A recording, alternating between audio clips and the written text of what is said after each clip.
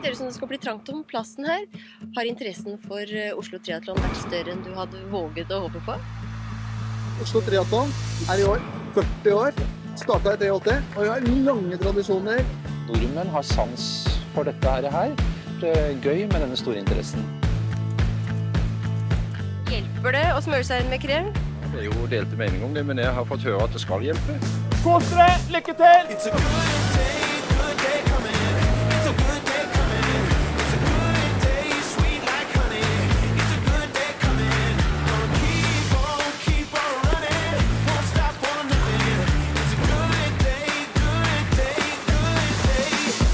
Puste til venstre? Så skal dere se den bøya. Så er det rett ned til målbuen der. Da er dere ferdig med svøm.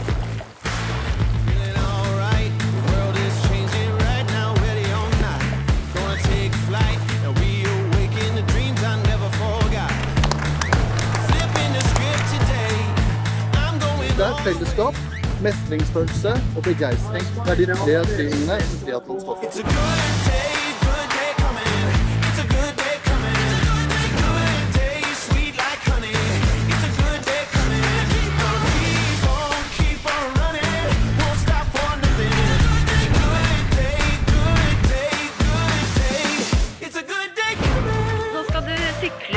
Hvordan tror du det kommer til å gå?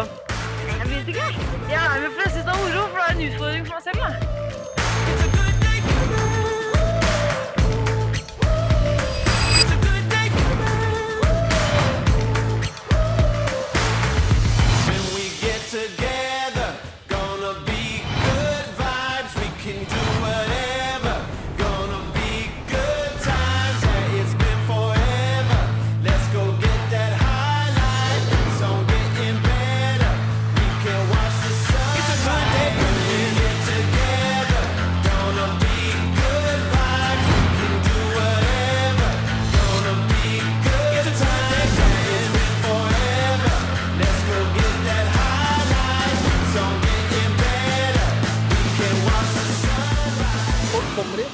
gøy, sosialt, mestring. Det spiller ikke noen rolle hva slags utstyr du har. Det, det går bare på eh, at du har gjennomført. Da har du så god tid at du kan sitte her og spise. Jeg må jo ha med litt før jeg kommer av gårde igjen. Ja, nå, du skal løpe, ikke sant? nå? Jo. Og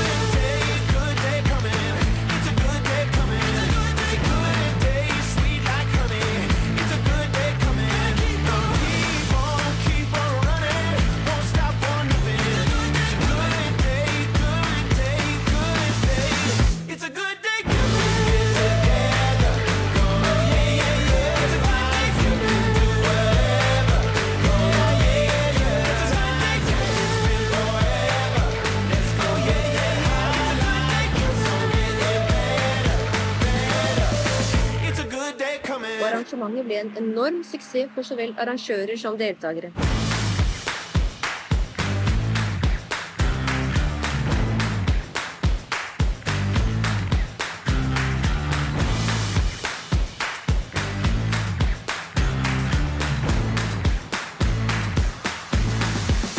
Man satser derfor på en gjentagelse til neste år, og datoen er allerede satt. Bare komme gjennom og kjenne på mestringsfølelsen. Det er.